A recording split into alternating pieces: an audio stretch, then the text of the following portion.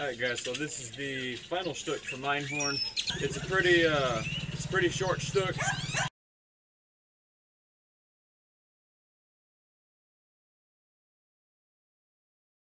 As I come into the Einhorn from two winging cuts, or two uh, Flugelhau, my opponent's going to strike at me with the long edge to my left ear. What I should do to counter this, step well out from the strike towards hard left, uh, fall on fall on the sword with the short edge.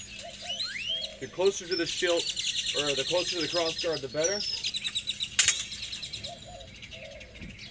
And then from here, I wrench down and come in either with the short edge or with the long edge.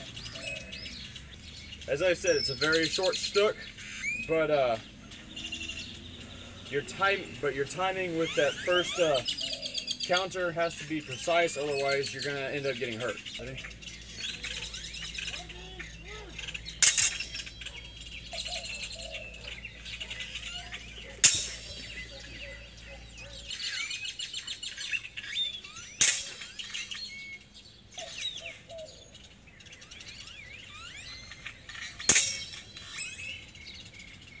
And that's the final Stück for Einhorn.